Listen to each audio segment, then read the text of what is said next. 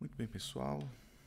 Muito bom dia, boa tarde, boa noite para vocês. Aqui é o professor Otton. Nós vamos dar início à nossa última matéria desse semestre, que é, é justamente propriedades coligativas. Hoje é terça-feira, dia, dia 13 de abril. Ontem foi feriado aqui no estado do Espírito Santo. E por conta disso, não tivemos aula, inclusive está lá registrado na, no calendário acadêmico, mas não tem problema, a gente vai disponibilizá-lo para vocês, que é justamente o que nós estamos fazendo agora. Então, vamos lá falar sobre propriedades coligativas. Então, na aula passada nós falamos sobre soluções ideais, falamos sobre lei de Raul, falamos sobre as diferenças de entalpia para soluções ideais e não ideais. Falamos também de atividade de concentração e falamos de lei de Henry, como essas duas leis podem se encontrar em um certo período dentro do estudo das soluções. Portanto, uma das aplicações mais interessantes que nós temos dos líquidos seria justamente quando nós estudamos as suas soluções de uma forma bem mais ampla, que tem a ver justamente com o estudo das suas propriedades físicas. Então, nós já vimos no estudo de equilíbrio de fases que os líquidos podem entrar em equilíbrio com os estados sólido e vapor. Portanto, quando o equilíbrio sólido-líquido ocorre, nós estamos considerando o congelamento do líquido e a temperatura de fusão do líquido vai ser levada em consideração. Já o equilíbrio líquido-vapor, nós estamos considerando a sua evaporação e a temperatura de ebulição que lhe é peculiar.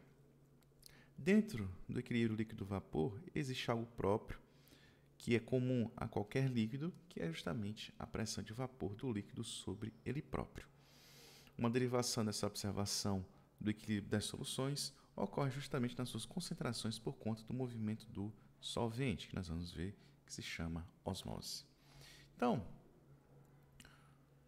quando nós preparamos uma solução, independentemente da sua natureza, nós sempre estamos mexendo nas quatro propriedades que lhes são comuns, como temperatura de fusão, ebulição, pressão de vapor e pressão osmótica.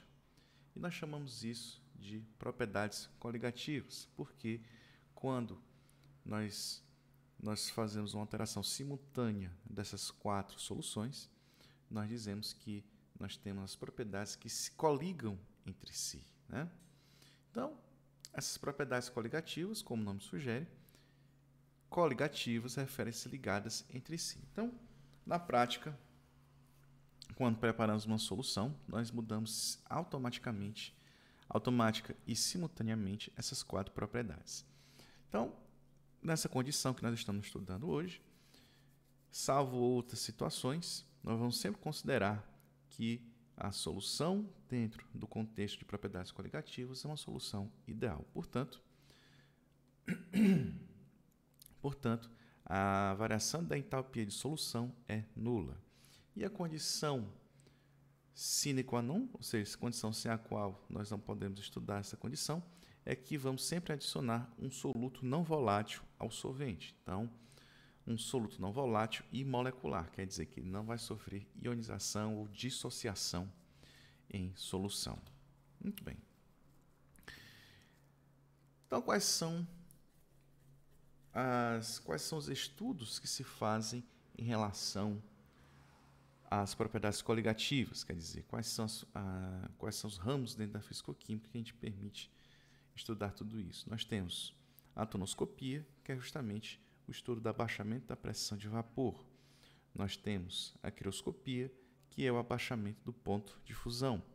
Nós temos a ebuloscopia, que é a elevação do ponto de ebulição.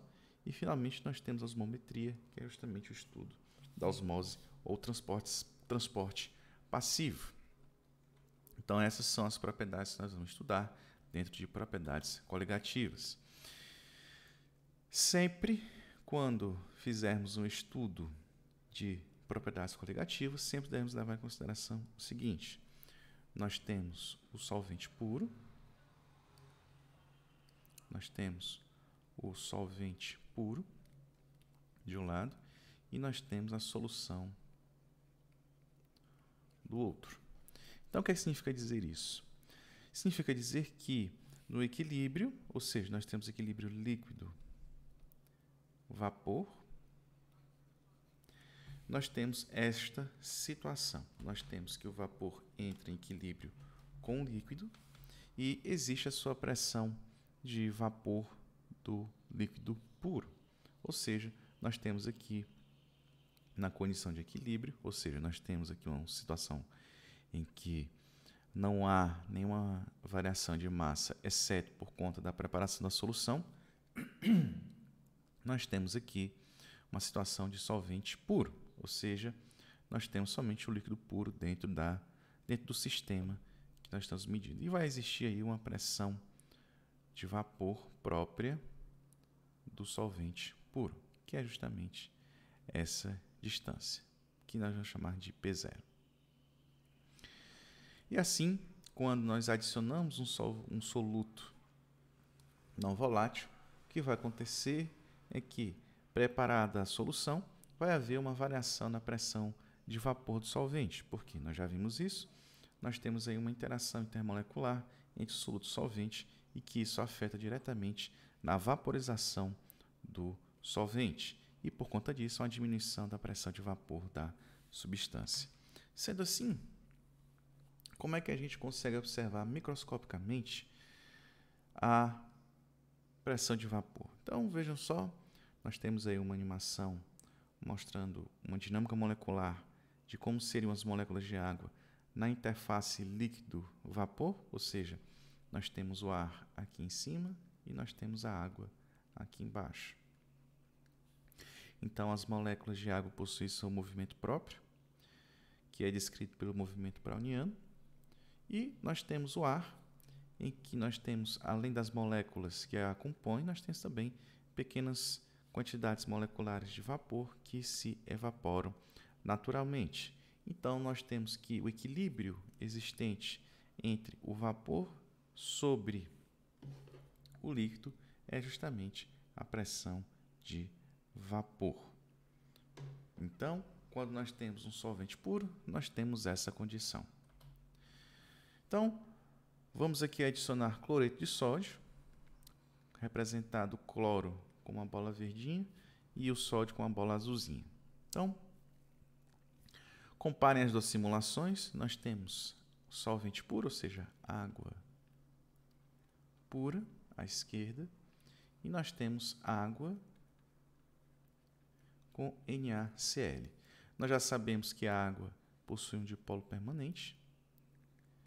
Então, nós já sabemos que a água possui uma ligação covalente, e essa ligação covalente polar, devido à diferença de eletronegatividade entre oxigênio e hidrogênio, ser bastante elevada. Então, o que acontece é que formam-se cargas parciais sobre o oxigênio e sobre o hidrogênio e formam um tipo de ligação inter, intermolecular que nós chamamos de ligação de hidrogênio. E isso é interessante porque, se nós observarmos que o cloro, na sua forma cloreto, é uma carga negativa, então a água interagirá com o seu lado positivo, que está localizado nos hidrogênios, e o sódio, que é um cátion, vai interagir com o oxigênio da molécula de água. E o que acontece? Nós temos aqui interações do tipo íon-dipolo, quer dizer, o dipolo da água interage com os íons em solução. Então, o que acontece de fato é que, por conta desse tipo de interação intermolecular, nós temos aí uma diminuição na quantidade de água ou de solvente disponível para que seja evaporado. Então, se por acaso o equilíbrio na pressão de vapor for em torno de 100 torr, por exemplo, se nós adicionarmos um solvente, perdão, um soluto não volátil, então vai ter uma diminuição aí de 93 torr. Porque essa diferença de pressão de 7 torr na nossa hipótese é causada justamente pela interação entre a molécula de água e os íons em solução. E por conta disso, diminui a quantidade de água a evaporar e, consequentemente, diminui também a pressão de vapor do solvente. Então, a tonoscopia refere-se ao estudo da variação da pressão de vapor do solvente em função da adição de um soluto, mais uma vez, de um soluto não volátil. Nós vimos como observar essa diminuição de pressão via lei de Raul, como nós vimos na aula passada. Ou seja, utilizando a lei de Raul, a pressão final, né, a pressão de vapor final, corresponde à fração molar do solvente vezes a pressão molar, do a pressão de vapor do solvente puro. Então, nós já sabemos também que a soma das frações, das frações molar do solvente e do soluto é igual a 1. E sendo assim, substituindo dentro da lei de Raul, nós temos 1 menos x2 vezes P0, e aí nós temos essa quantidade aqui que é justamente a que nos interessa, que é a variação da pressão de vapor do solvente. Então, como nós temos uma diminuição da pressão de vapor, nós podemos considerar, na verdade, uma variação de pressão. Ou seja, quando nós fazemos a substituição na lei de Raul, nós chegamos nessa quantidade ΔP sobre P0 igual a x2, em que x2 representa a quantidade de soluto não volátil na solução. Portanto, nós conseguimos, dentro do contexto de soluções ideais, nós conseguimos medir essa variação de pressão utilizando essa expressão da tonoscopia. Nós já vimos na aula passada esse gráfico, que se trata justamente da solução ideal.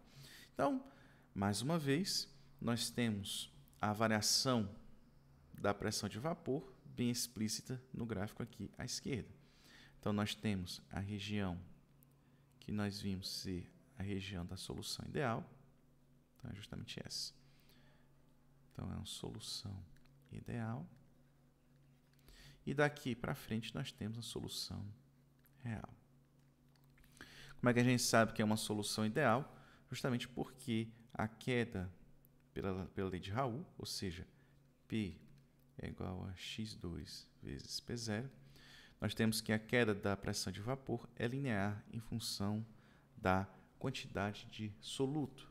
Porém, nós temos um limite, que é justamente esse limite de fração molar, em que a pressão de vapor não decresce linearmente, mas sim não linearmente. Então, nós estamos justamente na, no domínio da solução real. Nós já vimos também, na aula passada, que a lei de Raul é aplicada para toda extensão solvente porque, ela, porque a pressão de vapor do solvente diminui exatamente com a quantidade de soluto adicionada ou pela sua concentração. Então, nós vamos ver na, no próximo vídeo, nós vamos falar sobre as propriedades coligativas ebolioscopia e crioscopia. Então, até o próximo vídeo.